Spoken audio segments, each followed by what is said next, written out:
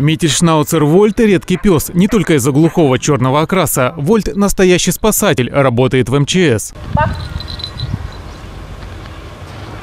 Это вот бах. Да, молодец. Бах. У собаки-спасателя серьезный график. Тренировки идут даже во время обычных прогулок и дома. Вольту надо многое уметь, в том числе спуститься с вертолета в связке со своим кинологом. Дома у Вольта упражнения на равновесие. Вот, молодец.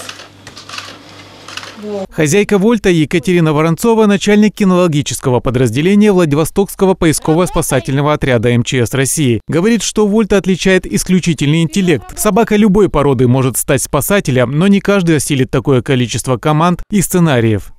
Позвони. Да, молодец. Позвони.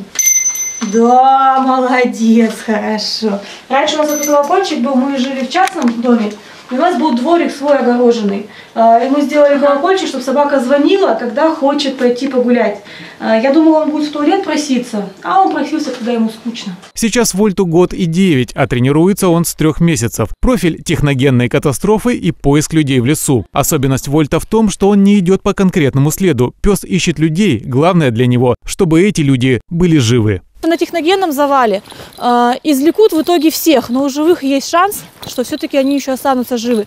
И нужно как можно скорее показать точку, где копать в первую очередь. Следов никаких, соответственно, к этим пострадавшим не ведется. А, Также э, в лесном поиске нам очень часто поступают вызовы спустя несколько дней. И, к сожалению, следа тоже уже нет. Вольт должен постоянно тренироваться, но манекены ему не подходят. Екатерина Воронцова ведет Инстаграм, в котором предлагает жителям Владивостока поучаствовать в тренировках. Наш корреспондент Татьяна Бондарева спряталась в колодце. Девушку накрыли ковром, закидали снегом и ветками. Вольт без всяких подсказок должен найти ее в короткий срок. Где люди? Кто там? Нет, вон там.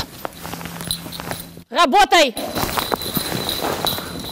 Кинолог специально сбила собаку со следа. Вольту дали не то направление, но пес быстро это понял и круто изменил маршрут. Оператор не успевает за Вольтом. Собака берет правильное направление. 10 минут, и Вольт находит нашу коллегу в снегу.